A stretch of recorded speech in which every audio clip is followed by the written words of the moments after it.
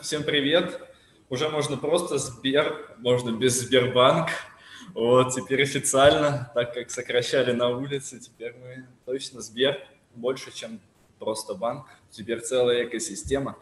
А, всем привет, меня зовут Селезнев Артем, я дата-инженер в Сбере. А, и сегодня мы с вами поговорим об очень интересной теме, а, которая позволит нам сделать шаг для выхода за рамки сообщества вот этих черных ящиков а, бесконечных, э, мы поговорим с вами, что, с чего начать, как стать э, дата-инженером следующего, там, а, следующего уровня, не знаю, там, как стать дата-инженером самым ценным на рынке. Ну, с чего же начинать? Окей. А, итак, меня, соответственно, зовут Селезнев Артем. Меня можно найти и в Телеграме. У нас э, есть э, и интересный э, гид, и сегодня мой, мой доклад будет завязан тоже вокруг э, одного интересного репозитория. А, ну и, соответственно, что же это за интересный репозиторий такой? Давайте разберем с вами. А, весь материал, который я сегодня расскажу, его основная часть выложена здесь, на Apache кластере, а, и также, соответственно, там будет появляться раз в месяц домашнее задание, которое позволит вам которые позволят вам а, двигаться вместе с нами, то есть развиваться, сделать свою интересную песочницу. Ну, давайте посмотрим, с чем это связано. Ну, как вы понимаете, что мир меняется. Вот. Когда-то давно ну, не, не на нашем, конечно, полушарии, но э, чтобы позвонить бабушке, можно было подняться на самую высокую гору, вот, в нашем случае просто соседнюю деревню сжечь, вот, а здесь э, надо было посылать такие некоторые воздушные сигналы, дымовые сигналы, но сейчас все настолько изменилось, и бабушка уже сама может позвонить тебе по, э, не только по скайпу, но уже и по зуму, э, ну и, соответственно, и профессии точно так же меняются. Стало как-то один раз, очередной раз, сделав переход с, одно, с одной работы на другую, я обратил внимание, откуда появляются эти требования, то есть, а, откуда они вообще формируются и как а, им соответствовать, как быть самым желанным дата-сайентистом а, на этом рынке, на, самым желанным дата-инженером на, на этом рынке дата-инженеров. Давайте посмотрим. Оказывается, существуют а, некоторые карты, карта roadmap, специальные карты, которые, по которым нужно двигаться, чтобы а, оставаться всегда на волне. Вот. И в 2020 году, в начале этого года, когда еще никто не знал о том, что Zoom станет такой популярный, а, я обратил внимание на том, что новая карта приобрела несколько новых, несколько новых пунктов эти пункты назвали как nice to have. А, и давайте обратим внимание, что же эти за пункты. А, ну, первый, соответственно, дата-инженер а, должен обладать все большим объемом знаний по машин learning. Ну, в принципе, это логично, потому что надо подготовить так данные, что, э, так хорошо данные, чтобы дата-сайентисту осталось намного меньше работы, и чтобы он просто положил их и начал использовать. Хорошо, дальше. А, пункт инфра как код. Что это такое инфраструктура как код? Ну, это про а, интересные а, тесты, про CI-CD и Jenkins. Ну, хорошо, это вполне возможно.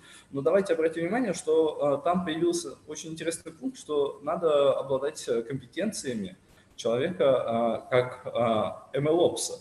Раньше мы как-то слышали DevOps, DevOps, есть целые конференции по DevOps, но ML, DataOps Почему это для дата-инженеров?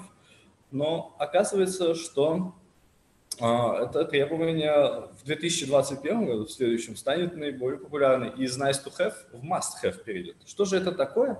А, это параметр, который позволяет выйти нам с вами за а, сделать шаг в сторону от э, черных ящиков. Что же это за черные ящики и зачем нам это все знать? Ну, конечно же, как дата-инженер вы сталкивались, например, с Cloudera и там, и прочими вендорами. А, но зачем же дата-инженеру знать, если он может установить, э, если он может взять и установить, э, а, к примеру, быстрый, быструю коробку, да, несколько, несколько настроек сделать, и все будет хорошо. Как же это сделать так? Как, зачем нам понимать, что как настроить отдельно каждый продукт, как их связать. Ну, окей, а, давайте посмотрим, почему. Ну, например, для того, чтобы сделать а, среду наиболее, наиболее понимаемой, да, более understandable. А вот вам пример rate, который можно поставить себе и понимать, как выполняет каждый, каждый кусочек кода, что происходит на стек трейсе. А, и это не всегда доступно в коробочных версиях. Или же, если вы скучаете по выполнению джабов от Cloudera, когда вы видите Yarn Application, как выполняется, вы можете это поставить и себе непосредственно прям Jupyter ноутбук. И это, кстати, работает э, даже намного проще.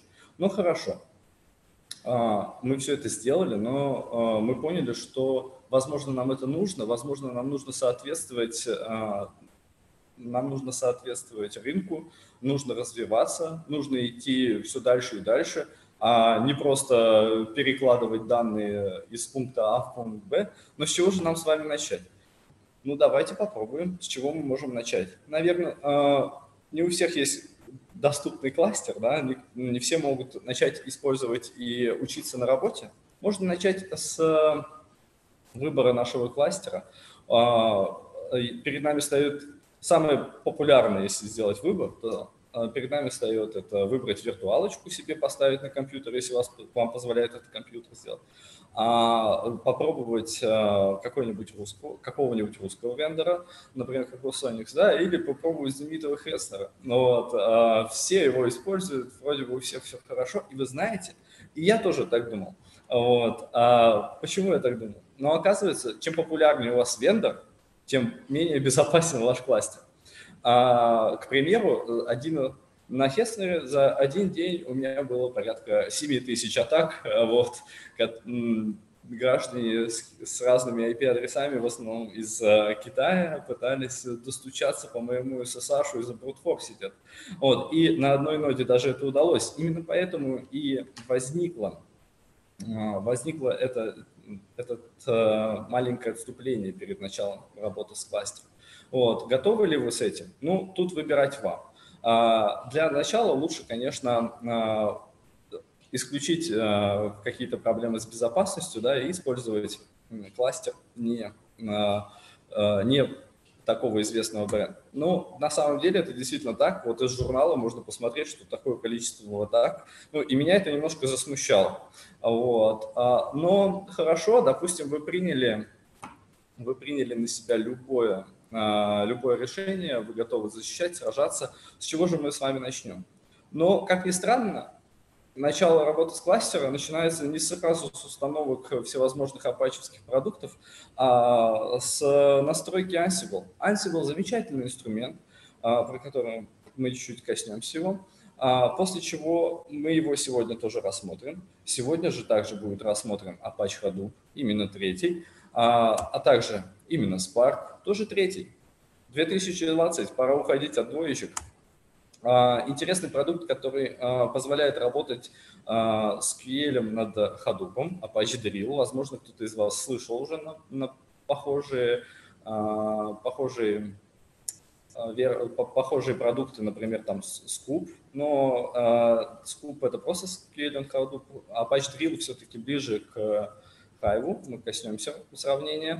А, ну, конечно же, Jupyter Kernel а, обязательно, потому что вы, работ... вы создаете песочницу такую, чтобы все остальные могли еще пользоваться. И мы должны научиться с вами создавать а, такие продукты, которыми пользуются наши основные клиенты. А, ну и, конечно же, добавим несколько вишенок. Вот, это фича Store, например, моя любимая вишенка в песочнице. А, мы коснемся чуть попозже. Все примеры, которые описаны здесь, э, и примеры, которые, на которых я развиваю этот репозиторий, живут на этом кластере. Э, Linux CentOS, Java 8, и э, там есть 4 машинки. Обращаю внимание, что у меня есть как публичные, так и непубличные адреса. Для чего это будет сделано, я расскажу чуть попозже. Ну, окей, начинаем мы установку Sensible. Это замечательный инструмент, который мне очень сильно нравится. А с чем это связано? С тем, что наши продукты с вами не живут на одной машине. Они живут на нескольких устройствах, да, которые располагаются в кластере. каждую настройку, которую мы произведем на, одном, на, одном, на одной машине, нам надо перенести ее будет на следующую. И это немножко доставляет ну, дискомфорт. Вот Ansible – это замечательное решение, с которого стоит начать работу на кластере. Ansible позволяет нам с вами создавать а, список хостов а, по любым IP-адресам, которые мы хотим обращаться, как внутренним, так и внешним, и Playbook. А, но это не просто игровая книжка, как, вот, а, как переведет ее вам транслейтер. А, соответственно, этот плейбук позволит получить а, порядок действий для Ansible и раскидать по SSH а, все, соответственно, а, все настроечки. Вы сделали настройку вроде бы на одной машине, написали, но запустили Ansible, и он автомат... эта настройка появилась автоматически на всех устройствах. И это очень здорово. Хорошо, но что-то нужно сделать заранее. А, до, сразу после Ansible первую настройку, которую мы должны произвести, перед, опять еще до Hadoop, это, конечно же, поставить вот замечательную библиотечку, которая называется NTP. NTP а, позволит нашему Hadoop а, проще работать, а, а именно устранить следующие проблемки. Там есть такие проблемки, которые связаны с задержкой по времени. Вот, clock drift и clock skew. Соответственно, чтобы устранить это, эта библиотечка работает э, и позволяет нам с вами избежать лага по времени между, между работой нашими кластерами. Э, даже несмотря на то, что они могут стоять очень близко, это очень большая и знаменитая проблема, с которой нам нужно с вами справляться. А что же это такое? Это вот наш с вами наш э, основной кластер, да, или там машины, с которой вы ведете настройки, или там, где будет находиться name-нода, а со всеми дата-нодами, в данном случае это сервер и клиент, должна взаимодействовать. А, стоит обратить внимание, что э, здесь взаимодействие идет по UDP пакетам, вот, и здесь мы вспоминаем о том, что UDP-шка шутку переводится как undeliverable, то есть недоставленный протокол. Но это совсем не так, конечно, а просто э, стоит учитывать о том, что э, ответа вы можете не получить. И на всякий случай иногда лучше перестраховаться. Вправо, справа внизу вы можете увидеть сокращенную ссылочку, а, потому что этот э, пакет NTP можно реализовать самому. Если вы будете не удовлетворены стандартной версией, попробуйте сделать что-то лучше или попробуйте изменить это под, под себя, под свои настроечки. А, там хороший пример с Хабра, как это сделать самому. Ну хорошо, мы сделали, на шансе был еще не работает. Почему так? А, ну, на самом деле, потому что нет а, SSH-ключей, сгенерируем SSH-ключи, раскидаем их на каждую машинку, и все. Следующий шаг, который называется «добавить пользователей», мы уже можем не волноваться. Запихиваем его в Playbook, и Ansible раскидает это на всех. Ну что ж, теперь мы с вами готовы к нашему отличному шагу. Первый, самый классный, отличный шаг, который мы можем сделать, это, конечно же, скачать Hadoop. Ну и, кстати, и этот шаг тоже можно добавить в Ansible а, через в get playbook, который автоматически скачает на эту машину и на все другие а, машины, входящие в кластер. Мы будем использовать а, на примере версию 3.2.1, вот очень хорошая такая версия. У нее есть одно, у третьей версии есть самый большой минус, к которому стоит привыкнуть. А, там больше нету ни слейвов, ни мастеров, там теперь есть только наши, соответственно, наши хосты. Вот, и а, иногда, когда вы смотрите туториал старый для версии 2.7, вам придется искать, э, ну, вам просто надо понимать о том, что э, этих параметров там больше не будет. Вы скачиваете себе Hadoop, все очень просто, обычная команда в get, и перед вами открывается целый большой список конфигов, которые вам нужно настроить. Но не стоит бояться, а, есть только четыре основных конфига. Это, соответственно, конфиги, как будет взаимодействовать сам Hadoop, а, конфиги, как будет взаимодействовать э, его а, Yarn, который поставляется вместе с Hadoop в данном случае, ну и, соответственно, как будет раскидывать map, а, как будет происходить операция map-reduce. Здесь нет ничего сложного, потому что в нашем с вами, в нашем с вами простом git-репозитории мы с вами уже подготовил, я подготовил, и весь конфиг, соответственно, там сделан. Вы сможете, сейчас я верну мышку, извините, вот.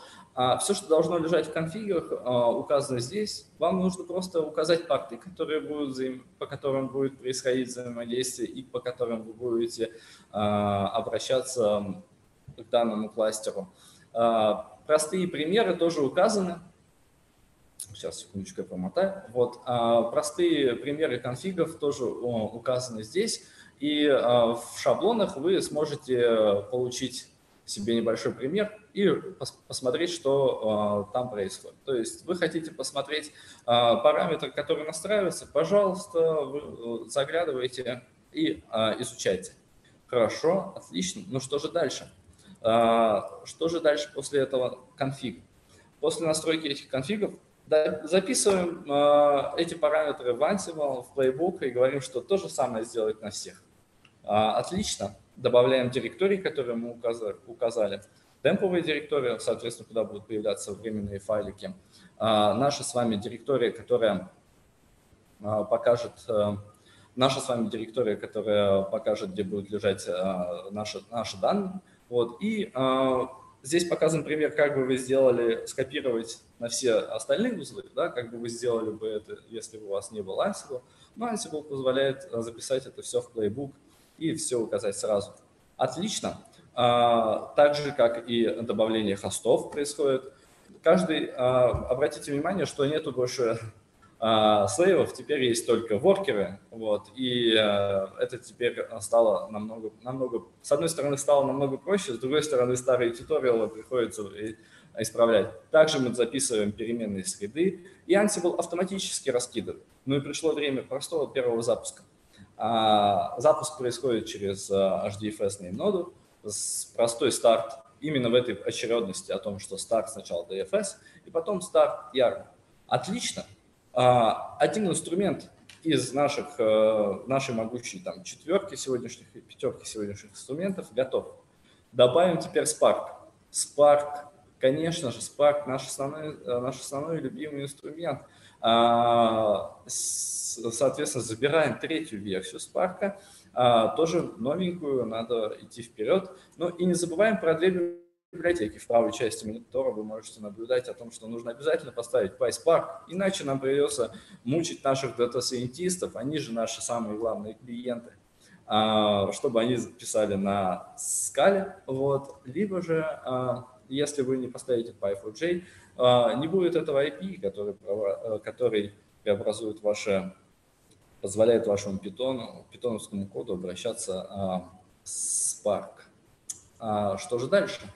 А, у Spark намного проще конфиг, а, но в настройке этого конфига надо просто представлять себе следующую картинку. Она очень проста. Каждый конфиг, который вы прописываете порты, вы просто, а, вы просто указываете, как бы вы хотели обращаться. То есть, ага, значит, у меня будет веб-интерфейс на таком-то внешнем порту, Spark UI порт, да, и, соответственно, на таком-то адресе. Весь конфиг указан на данном рисунке. Э, в данном случае э, здесь нет э, ничего сложного, и его базовый пример тоже указан и те. Пойдем дальше и запустим теперь и Spark, потому что и этот конфиг тоже готов. Запускаем Spark Master и запускаем слоевые. Здесь можно схитрить, и эта функция тоже еще работает. На каждом, соответственно, на каждом воркере запускаем по слейву. Это работает. Отлично. Второй инструмент тоже поставлен. А, и мы теперь идем до самого интересного инструмента, который, возможно, у вас а, вам выдаст ассоциацию о том, что ой, я же это где-то видел, это же вроде бы хайп. А, SQL над Hadoop. Это интересный инструмент Apache Drill. Apache Drill – это, соответственно, тоже что-то вроде хайва, но его основная особенность, его две основные особенности, за которые я его обожаю. Во-первых, в Dream мы используем ANSI SQL. Это такой же SQL, как э, ну, использует большинство э, баз данных, ну и, соответственно, тот же самый SQL, который использует Spark. Код в Spark и код в Drill, э, SQL работает, работает без изменений. И в отличие от Hive, потому что хайвовский код – это Hive, QL, да, то есть это диалект, и вам приходится делать изменения, да, возможно, что вы будете ждать такого же результата, но получите на выходе ноль, вот, и вам придется смотреть, и вы получили эти изменения. Ну и, и еще а, основная особенность, что Hive – это батч, батч SQL, он хорош для больших тяжелых результатов, для ETL и тому подобное. А, а Drill – это интерактив SQL, и, соответственно, вы можете сделать а, все намного быстрее, если у вас какой-то простой запросик, а, то простой запрос, либо же этот а, ну, несложная, большая, несложная небольшая табличка. А в данном случае я Drill буду использовать а, для обращения к конфигам, для настройки конфигов автоматических. Вот, ставится он очень просто, скачивается, сейчас доступна версия, соответственно, 1.17. Вот, и вам нужно прописать только два конфига. Drill site, то есть так, как вы будете к нему обращаться. И его большой плюс, что он может работать как на одной ноде, да, на одном узле, на обычном компьютере, как и на кластере. Он дружественный к Ярну, и э, все у вас будет работать отлично. Все очень совместимо. Э, рассмотрим, соответственно, дальше. У нас есть с вами Jupyter э, Hub, надо поставить много Jupyter ноутбуков.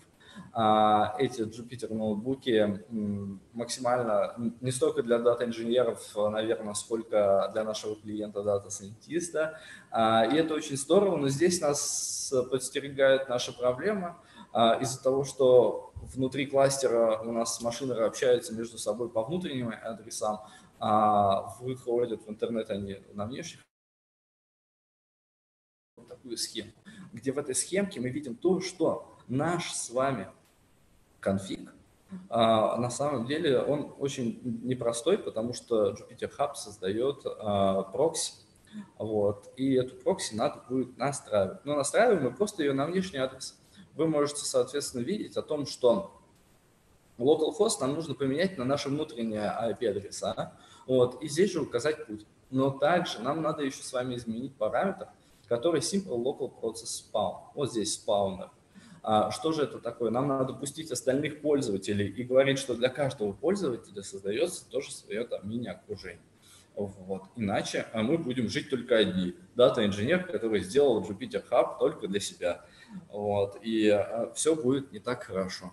А, ну и, соответственно, сразу после а, Jupyter Hub возникает вопрос. Вот где-то я на работе я помню, точно видел, как там много вот этих ядер, как сделать это ядро, как добавить Jupyter ноутбук, а, то, что я хочу. Потому что Spark 3 у меня почему-то сразу не запускается, надо немножко исправить а, там базовое ядро.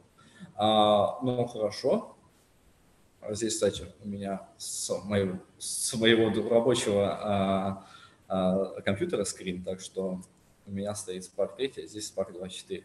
А, окей, как это делать? Мы ищем простой параметр, где-то в юзере лежит Jupyter, там лежат кернелы. Вот. И в папочке kernel много-много-много разных ядер. Вот. Интересно, что в нашем случае мы можем добавить любое собственное ядро и указать в этом любом ядре свои собственные настройки. Вот. Здесь очень важен следующий параметр о том, что все настройки среды, которые мы с вами добавляем, мы можем указать их сразу здесь, чтобы не, не волноваться и не настраивать а, переменное окружение в нашем конфиге, в нашем конфиге, либо в нашем, соответственно, начале нашего файла. Здесь стоит обратить внимание, что а, также и PySpark Submit аргументы вот, мы должны будем указать именно yarn, потому что у нас мастер крутится на yarn.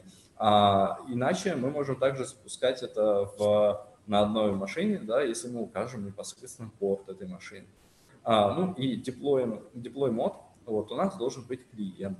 А, иначе мы с вами будем тоже получать либо ошибку, вот, либо же у нас будет все это работать на одном устройстве. Ну и зачем нам тогда кластер?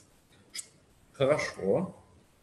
Вы скажете, а дальше? Ну, что ты мне сейчас рассказал, вот этот вот, как настроить пару конфигов, да, то есть как сделать, окей, я мог бы там посмотреть, по поискать в интернете и все сделал бы то же самое. Где самое интересное? Где эти вишни на торте, которые ты мне обещал? Хорошо, где этот роудмап, которому нужно соответствовать? Но пока мы пойдем дальше, давайте вспомним, кто это. Как вы думаете, кто этот человек? У меня, правда, задержка, меня предупреждали, но, может быть, кто-нибудь в чатик мне скажет, кто это? Ой, не знаете? знаю, я не знаю, я нет. Вот, Дарья не знает. Ну и, наверное, большинство дата-инженеров тоже не знают, но вы на самом деле, спасибо, Дарья, за ответ, на самом деле это тот самый человек, это абстрактный человек, которого просто называют, это я тоже не знаю, но это просто человек, который выдается по поиску самый счастливый дата-сайентист в мире. Вот. А, и это наш внутренний клиент. Мы с вами, как дата-инженеры, должны понимать о том, что наша задача с вами не просто ну, сделать песочницу, а сделать, научиться делать такие песочницы, такие кластера, чтобы наш внутренний клиент был доволен. И мы должны делать каждый день ну, дата-сайентистов счастливы. И что мы делаем с самого начала? Убираем страшный Spark конфиг. Сколько э, раз вы видели, что дата сайентист заходит, или он говорит, что у меня умирают процессы, я ничего не знаю, вот, опять как распределяется, то у меня оперативки много, то у меня ЦПУ много, э, да, но никак он не хочет работать. Ну, смотрите, мы можем создать для него динамическое ядро, и это будет, мы можем, э, дата, дата инженер, здесь очень тривиальный вариант сейчас покажем, но мы можем с вами в Spark аргументах сразу передавать конфиги. И э, как же сделать это динамическое ядро? Что ты здесь за параметры, скажите, читаешь? Вот, как их получить? Ну хорошо, представьте себе, что в Spark Dynamic Location – это тот параметр, который позволяет нам с вами э, создавать э, динамическое распределение в зависимости от того, сколько у нас с вами осталось еще ресурсов. А как же добавить эти параметры? Как их высчитать? А, ну, давайте подумаем, что, окей, у нас есть yard-top, мы можем забирать вот эти вот параметры из yard-top, а, но эта команда равнозначна топ в Linux, да, ее очень сложно распарсить, будет довольно тяжело. Вот. А какой еще вариант есть? Вариант yarn application status IP. Вот, мы можем смотреть по каждому а, application. Ну, если он запустил уже их много, то мы ничего с вами не сделаем. То есть все будет довольно печально. А, что же можно сделать еще? И тут мы вспоминаем, что вообще-то мы установили drill. Вот, наверное, не просто так мы его поставили, а смотрите, что мы сделали. Мы очень хитрые с вами. Вот, и мы знаем, что у, в настройках, конфигах, который называется Core Site XML, а, мы поставили с вами а, порт и адрес, по которому у нас с вами будет REST IP от нашего ходупа. Круто? Круто. А, этот REST IP мы можем к нему обратиться. Например, мы можем курлом попросить, чтобы он нам отдал текущий статус. И тут мы видим очень интересное значение. А, какое значение? Во-первых, нам нужно откатиться назад и сказать, а почему эти параметры у нас не подходят? Ну вот смотрите, здесь а, мы видим очень странный параметр, в статусе, который называется мегабайт в секунду, а здесь ядер в секунду. Да не бывает столько ядер у меня. Вот, у меня вообще столько на компьютере нет, на кластере нет. Ну хорошо, а, как-то потом это рассчитывать, да, нам это не нужно. Давайте-ка мы лучше обратимся к API и получим результат. Вот, и с результатом у нас будет с вами JSON. Смотрите, мы с вами просто возьмем и получим вот этот json файличек и сохраним его в ходу. А потом с помощью Apache Stream обратимся и выполним вот такой селектик. Этот селектик скажет нам, что ты сейчас сделал, а вот, и он нам скажет, что «А, вот что ты сделал, ты же просто посмотрел селектиком, обратился к файлику JSON». А мы drill, специально поставили Apache Drill. Это интересная апачевское приложение, которое позволяет нам с вами обращаться а, с QL прям к любому, к любому формату, даже к паркету. Вот, и мы можем получить с вами результат вот такой вот. А, мы можем получить а, результаты о том, что какие процессоры у нас сейчас, количество контейнеров задействовано, да, количество коров и количество памяти. А дальше что? Как же дальше рассчитать? Ну, давайте вспомним, что у нас еще с вами есть. Наверное, у нас еще в нашем запасе дата-инженера есть всегда всего очень много, и мы можем с вами э, рассчитать параметры для Spark. Вот. А, как это можно сделать? Есть миллионы разных вариантов, вариаций функций, а, написанные в блоге и Амазона, и даже в статье от New ProLab, например, есть расчет параметров и какие параметры они используют. Мы можем взять и заменять э, количество э, пользователей. Например, у нас с вами на кластере работает три человека. И мы хотим так, чтобы при динамическом ядре они использовали три, но, например, если кто-то ушел, да, он начал расширяться. Что мы можем с вами сделать? Мы можем с вами передавать параметры и рассчитывать их. Здесь есть базовые такие формулы, которыми все рассчитываются, и вы можете их тоже поиспользовать. А в результате мы получим очень интересную большую табличку, из которой нам, нам предстоит еще и выбрать эти параметры. Ну как это выбирать? А, нам это довольно долго делать. Вот, давайте посмотрим, что мы можем с вами сделать. То есть как можем автоматизировать выборку. Наверное, надо взять что-то по максу. Да? Если мы возьмем максимум данных, я здесь сразу вам накидал. Вот, если мы возьмем сразу максимально данных, вот, нам скажут, о, классно, 229, почти 300 экзекьюторов, да, мы можем использовать столько памяти, но вот если посмотреть, у нас какие-то инстансы отрицательные, да, то есть там параллелизм отрицательный, наверное, мы что-то не можем использовать. Ну, конечно, нам нужно установить не просто взять максимальное использование там по ЦПУ или ОЗУ, а нам нужно, чтобы у нас а, экзекьюторы существовали, и а, параллелизм еще был, и еще и а, партиционирование было возможно. В итоге у нас получается, что на троих человек, да, у нас получается вот на кластере маленьком, который представлен, можно использовать там 64 экзекьютора, и в итоге вот столько вот памяти, где мы тут, так, оп-оп-оп,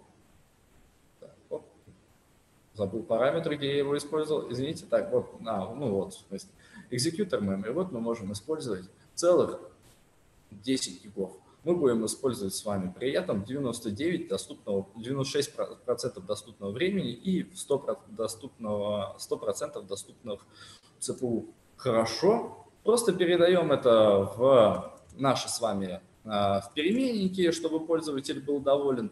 И отсюда можно уже каждую переменную мы сможем с вами достать вот, и посмотреть, что мы с вами, можем ли мы это использовать, а, сможет ли наш с вами дата-сайентист это использовать как в виде динамического ядра.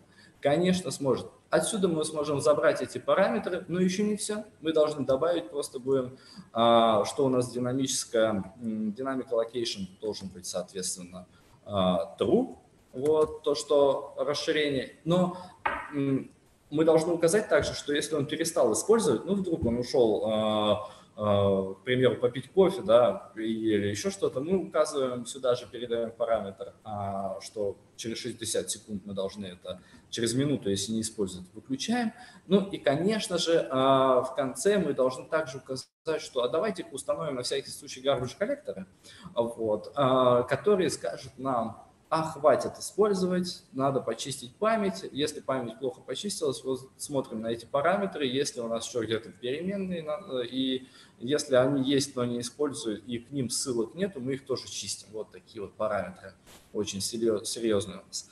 А если все ок, то мы просто формируем динамическое ядро, на основе этих параметров рассчитываем, создаем новый kernel и Просто наш дата-сайентист включает любой новый kernel, не зная о параметрах, не зная, а, не зная о тех а, параметрах, которые ему, соответственно, доступны, не знает, какой конфиг ему нужно указывать, он просто его использует.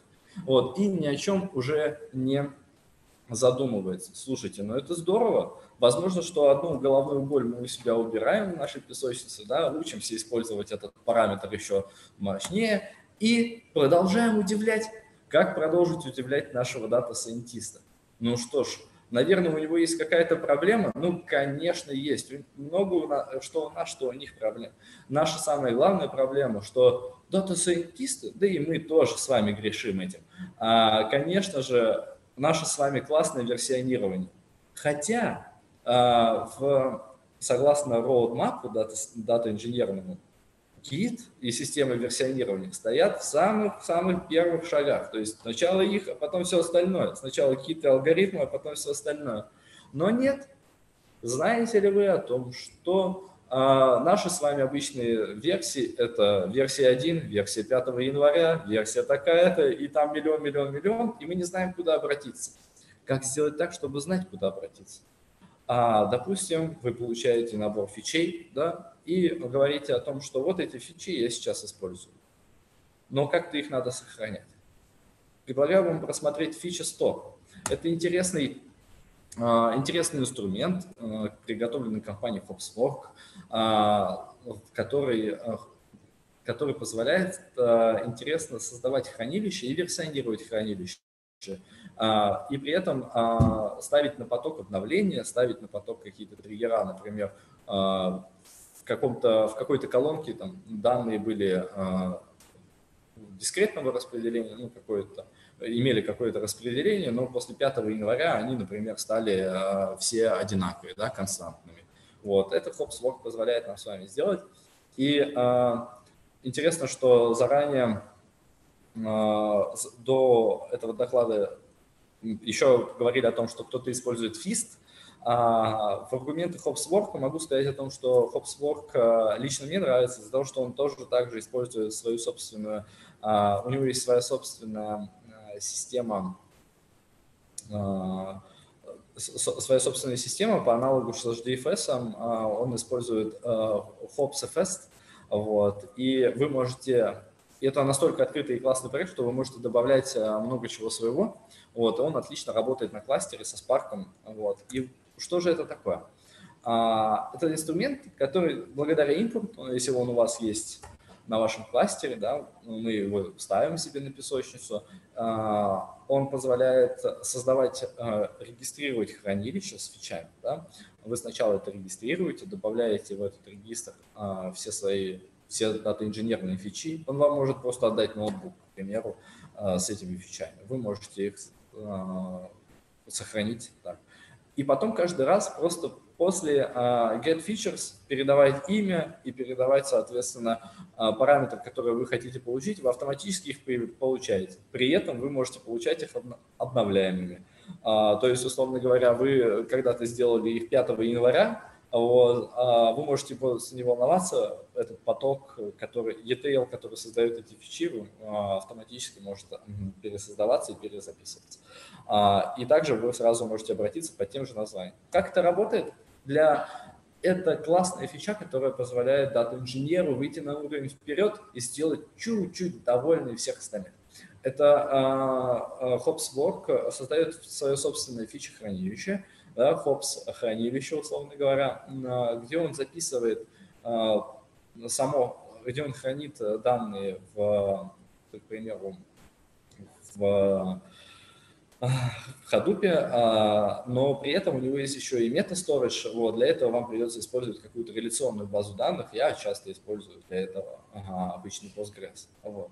И а, обращаясь к, к этому хранилищу, вы сразу в результате обратно вам возвращает тот вариант, который вы туда сохранили. Вы сохранили туда в Pandas, вы получили в Pandas табличку. Вы сохранили в NumPy, вы получили массив из массив массивов из NumPy, да, вот, вы какой-то объект, а вы сохранили в Spark, вы получили, соответственно, э, сразу результат э, в Spark Data Frame. Ну и интересен этот э, материал тем, что HopsWork позволяет также и встроиться в процесс обучения. Да, вы можете отдельно поставить пересчет фичей на Spark, дата инженера, дата сайентист один раз рассчитал, отдал вам ноутбук, вы, соответственно, взяли этот ноутбук, поставили на постоянный пересчет. Вот. И каждый раз, когда он а, хочет обучать новый датасет, а, используя утилиты Hops Unit и Hops, а, Hops Util, вы, соответственно, сразу же можете забирать пересчитанные на любую новую дату на любую новую дату датасета, да, набора данных с теми заголовками, которые вы их передали, все в том же самом порядке. Вот. А вы э, и сразу отдавать в, в алгоритм. Ну что ж, а, это все, конечно, очень интересно. А, но а, это лишь малая часть, которую вы можете сделать для своей собственной маленькой песочницы. Это та песочница, с которой я когда-то начинал.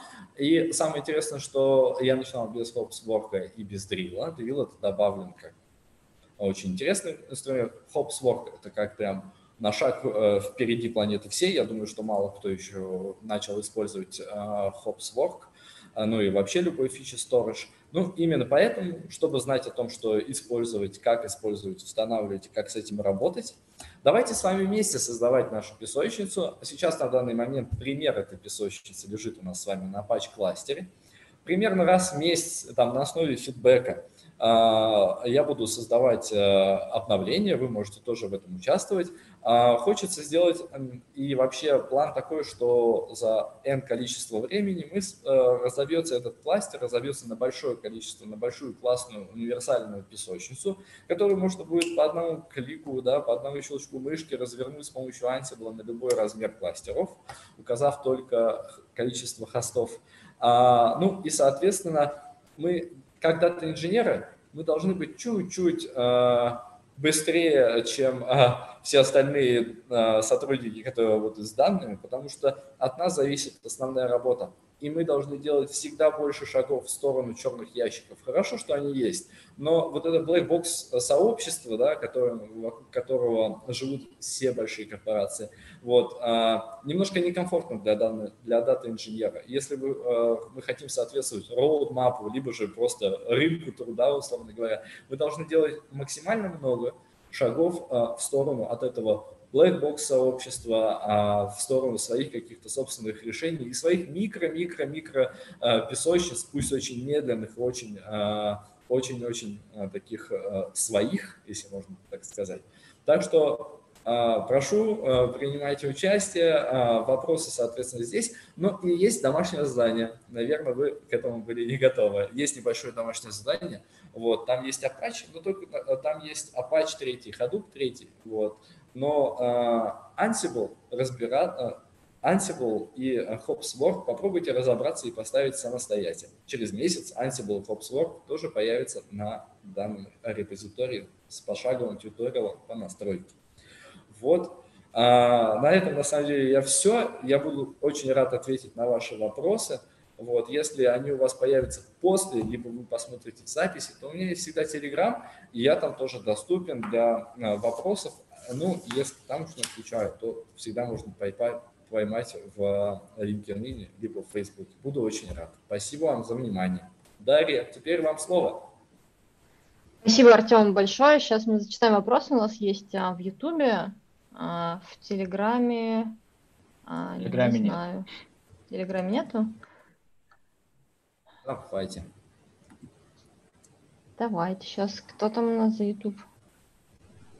Давайте я прочитаю.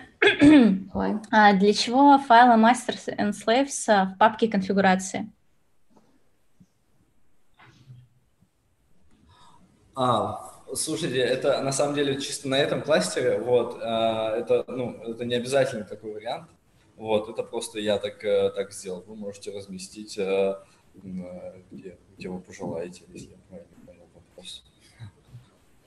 Так, секунду. Интересная тема. Э, непонятно, в чем суть сбора параметров э, существующих приложений через drill. А, э, смотрите, а, суть через drill я на самом деле, для чего я, я сделал этот drill? Drill позволяет, а, ну, то есть обращаться, ну, не просто парсить JSON, а с QL обратиться к этому JSON. Вот, я к API Hadoop обращаюсь а, скачиваю этот Hadoop результат, который мне выдает, и автоматически у меня есть кернел, который является динамическим, и а, я смотрю, сколько параметров сейчас там занято, да, то есть э, сколько, ну, условно говоря, у меня есть э, кластер рассчитан на трех дата-сайентистов, пример, вот, каждый раз, когда создается, ну, каждый раз, когда заходит новый дата-сайентист или он выбирает динамическое ядро, в, в момент его инициализации происходит расчет параметров. Вот. И у меня э, назначается ровно столько параметров, сколько доступно на данный момент, и э, дата-сайентист может работать вот в этой вот части. Потом получается такой, такая ситуация. Задумка вообще следующая, что дата-сайентист один уходит, остается э, один на сервере для троих, да, он может переназначить себе или продолжить работу с, с динамическим ядром вот, и потреблять все ресурсы. А, drill я использую для того, чтобы просто а, классно селектить а, все, все JSON-овские файлики, XML-овские файлики и тому подобное. А, а вообще, в принципе, это интерактивный аналог Hive. То есть то же самое можно было бы сделать с Hive.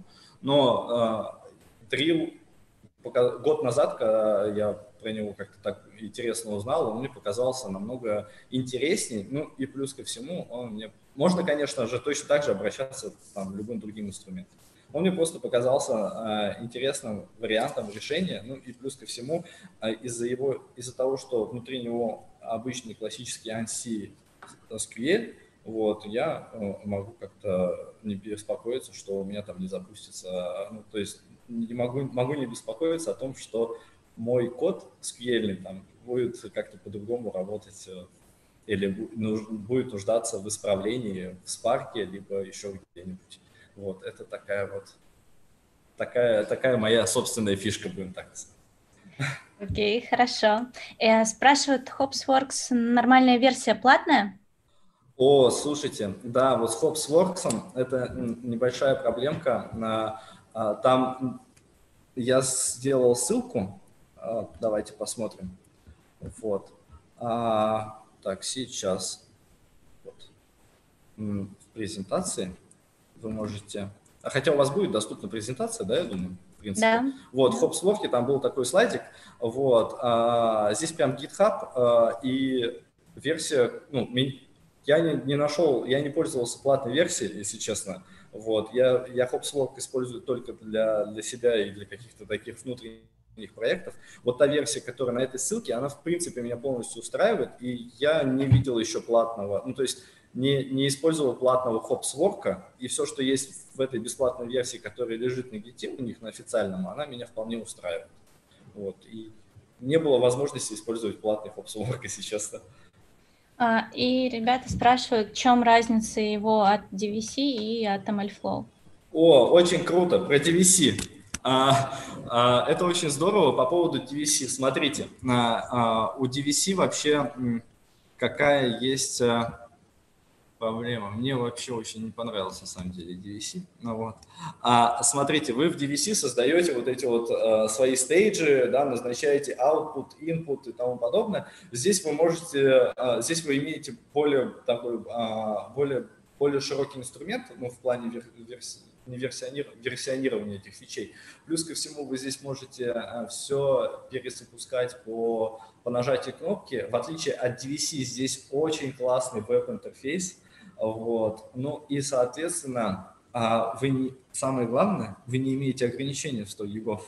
Вот, ну, конечно, а, вряд ли вы... А, слушайте, если честно, давайте вам... Это мое персональное мнение вот, по поводу DVC. Это очень здоровский, классный инструмент, ничего не могу сказать плохого. Но DVC по, по примеру внедрения, когда внедряли DVC, а, почти все дата-сайентисты отказались его использовать только потому, что они сказали, что нам нужно создавать еще какие-то stage и, залазить в консоль, там, писать и тому подобное. В HopsWork а, вот сейчас а, дата-сайентисты, которые работают на проекте и используют его, вообще не, не против его использования, очень хорошо все ложится из-за графического интерфейса, очень а, низкий порог входа и выглядит все вообще здорово. Плюс ко всему в DVC а, у вас еще вот эти файлики .dvc создаются, да, которые вы взяли, там, условно говоря, удалили, вот, и все круто. А в HopsWork, вот, только админы э, видят все эти стейджевые файлички, а всем остальным доступны только либо вот эти вот а, импорты, то есть как вы можете обращаться к хранилищу, да, вот, там а, по поводу MLflow, слушайте, ну с MLflow не очень большая разница, ну, точнее, MLflow более более наверное, широкий такой инструмент, вот, и э, сравнить так на, за 5 за 5 минут я его так не смогу с HopsWork, но на самом деле, э, если выбирать между MLflow и HopsWork, я, конечно, выбрал э, MLflow. Вот. Но HopsWork мне понравился тем, что он позволяет вот, э, выделять конкретные, конкретные группы фичей да, и постоянно к, к ним как-то обращаться. Вот, так что, ну, если сравнивать, если выбирать между FopsWork и MLflow, я выберу MLflow, но если выбирать между FopsWork и DVC, конечно же, FopsWork. Вот, ну просто DVC это чисто версионирование, а здесь э, еще много всего. Вот. Окей, у меня все с вопросами с YouTube. А у меня, кстати, есть еще вопрос. Я правильно понимаю, что вот это реально практическое решение, которое вы сделали вместо ну, там, использования там, Cloudera или какой-нибудь... А, или это да. все-таки учебное такое? Э? Смотрите, это, это не Сбербанк, это не Сбер идея, то есть это не Сбер а, проект, а вот, оно в плане того, что а, какая вообще здесь предыстория. Вот эта roadmap, которую я показал 2020 года, на самом деле я не узнал еще в 2018 году, вот, постоянно за ней слежу. И в Сбере мы тоже пользуемся Cloudera. Но а, у нас есть, соответственно, новые сотрудники, и вот нов, нов, новые сотрудники, и есть проекты, которые, а, например, есть сторонние проекты, которыми я занимаюсь, например, тот Forge. А, это а, сбор аналитики по, ну, ну, сбор аналитики по гиту, да, то есть э, talent management, условно говоря, по гиту, вот, и э, там используется для вообще аналитики, расчета, хранения данных. Именно вот этот вот, еще пару инструментов, конечно, сюда добавлены, такие как э, Hive, там еще сверху добавлен, Drill, он чисто для, для меня, вот, еще для одного дата-инженера, а для дата-сайентистов, которые участвуют в этом проекте, используется Hive, вот, а, ну, соответственно, именно на проекте CodeForge используется вот такой, э, такой вот стек технологий на кластере, а, ну и на кластере плюс еще там две ноды. Здесь кластер из четырех, а там кластер такой из шести нод. А, вот. А вот это вот а часть это учебная для того, что, ну, вот эта учебная часть, которую я сейчас показал, она очень часто используется для новых сотрудников в плане того, что очень часто встречаются дата-инженеры, эм, Возможно, это просто из-за широкого рынка такого а, или очень большого количества людей на рынке, которые, ну и в Data Science наверняка такие есть тоже. А, условно говоря, вот он, я умею пользоваться инструментом там X. Вот. Если я открою ноутбук без а, там конфигов, да, то я не знаю, где посмотреть эти конфиги. Вот, благодаря там, вот этому учебному, учебный, учебному кластеру, вот, можно объяснить, что куда смотреть, когда сломалось, что смотреть. И плюс ко всему а, мы еще используем вот этот heart rate, который в самом начале я показал, где красиво исполняется, а, где красиво исполняется вот этот вот вот такая штучка, вот, а, а, выполнение кода rate мы используем на учебных кластерах, там, для отладки, это очень очень круто а, объяснять, например, там, студентам. У нас есть bootcamp, на bootcamp объяснять выполнение а, и почему именно происходит в такой последовательности, да, что это выполняет. То есть а, вот две основные такие идеи. То есть а, фактически большая часть этого используется на проекте CodeForge, и в, в боевом режиме точно так же с этими вот э, кернелами автоматическими а, динамическими. И, а, соответственно, а, меньшая часть, э, точно такая же, только без drill, используется для учебных целей. Здесь у нас на буткемпе Кстати, очень интересная новость. Позволите сханчу немножко. Если кому-то интересно, у нас есть интересный буткемп, если вы только начинаете, ну, чувствуете себе силы, то welcome on board. Вот, вы можете прийти, мы научим. Вот. А, научим дату инженерить. ну, это Нет, так. классно, классно. Я просто хотела еще один вопрос задать. Давайте. Знаю, это уже так как, как к концу уже. Я хотела еще один вопрос задать. А, смотри, а если такое вот примерно решение а, завернуть в докер и использовать для перф-тестов, вы не пробовали? О, нет, такое мы не пробовали. Вообще, Вообще такие перформанс-тесты пробовали? А, вообще, именно вот в этом варианте нет, не пробовали, но и кстати, наверное, это еще один вариант, почему. Почему э, я захотел об этом рассказать и почему вообще начал вести этот проект. Э, вот, из-за того, что э, я, я замечаю, что, например, особенно в крупных компаниях, есть такое, что есть кто-то занимается на проде, вот, дата-инженеры на проде, а есть наверное, большая часть дата-инженеров, да и дата-сайентистов, и вообще, наверное, аналитиков, которые сидят в песочницах. Вот, да, то есть, условно говоря, и а, ни о каких там перформанс-тестах вообще речи не идет. То есть, вот, и а, нет понимания, соответственно, этого, где это можно еще использовать. Вот, и отсюда это пошло. Но в перформанс-тестах мы это не пробовали. Ну, кстати, идея хорошая. Возможно, что и вот если я взять план развития как раз-таки а, докеризация это прям ближе к Новому году, вот докеризация этого решения появится вот в этом кластере уже ближе к Новому году. Вот. Так что, возможно, можно будет прийти, посмотреть и как это.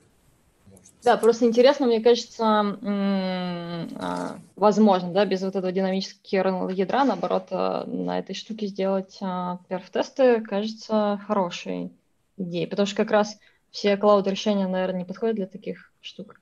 Да, слушайте, я, просто... наверное, даже запишу, вот, потому что это очень интересный вариант. Я, я если честно, не подумал. Но это очень круто. вот что есть. И вообще, если у всех есть вопросы или какие-то решения, ну, то есть вы можете закидывать. Я такой чек-лист большой создам, что мы попробовали, что нет. вот, супер. Спасибо, я записал. Угу, перф-тесты, да, интересная штука, похоже. Угу. Так, ну что? Вопрос. Да, давай. А, угу.